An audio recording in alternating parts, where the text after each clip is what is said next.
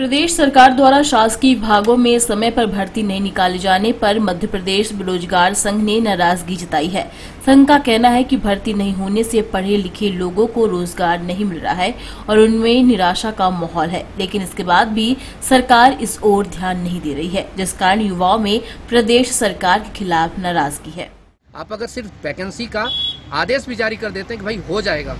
तीन बार शिवराज सिंह चौहान साहब आ चुके। और सबको संबोधित कर चुके। एक बार उन्हें बेरोजगार बच्चों के बारे में नहीं बोला कि मैं जैसे समय खुलेगा, मैं एक वैकेंसी की भर्ती निकालूँगा। उससे आपको ही पता सर कि किताब वाले, कोचिंग वाले, अप्रत्यक्ष और प्रत्यक्ष रूप से बहुत सारे लोगों को रोज़गार मिलता है। भले ही आप पाँच हज़ार, पंद्रह हज़ार वैकेंसी निकालते हैं, लेकिन उससे लाखों लोगों को रोज़गार मिलता है। और आप छोटी सी चीज़ में, यहाँ पर आप तो कुछ नहीं लगा रहे हैं, सिर्फ़ क्या कर रहे हैं, विज्ञप्ति के लिए कर रहे हैं, लेकिन उससे लाखों लोगों का रोज़गार जुड़ा है। अब मान लीजिए कोचिंग बंद है, अभी ऑनलाइन भी कोचिंग हो सकती है, लेकिन बच्चा नहीं पढ़ेगा।